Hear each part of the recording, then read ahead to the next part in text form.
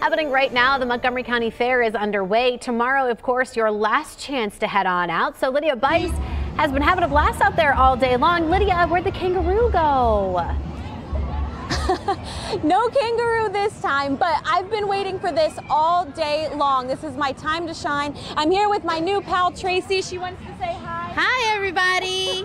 She's excited to be on the Dayton News. Now I'm going to try to win a goldfish. Get ready.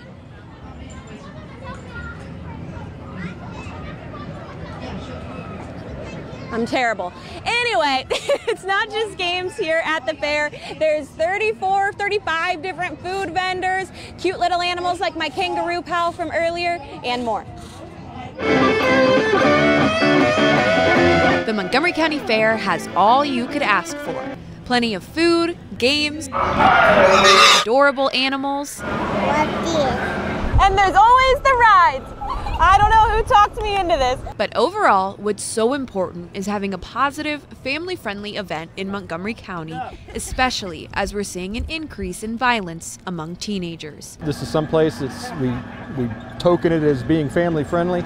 Um, bring the family in, bring the kids in, have a good time. You know, we don't have a lot of trouble out of the kids. They come here, they ride the rides, they eat the food. Montgomery County Sheriff's deputies and other officers across the Miami Valley put their lives on the line every day to keep us safe, which is why stopping by their tent at the fair is so meaningful to them. It, it means a lot because we get a lot of the negative stuff. You know, we, we hear the complaints and, uh, you know, something happens in another part of the country or, you know, even in another jurisdiction around here, and that affects all of law enforcement. But if you're going to spend your Saturday at the fair, you might want to come before 4 o'clock. Tickets are $10 at the gate until 4 o'clock, and then it's $15 to get in after that today and tomorrow.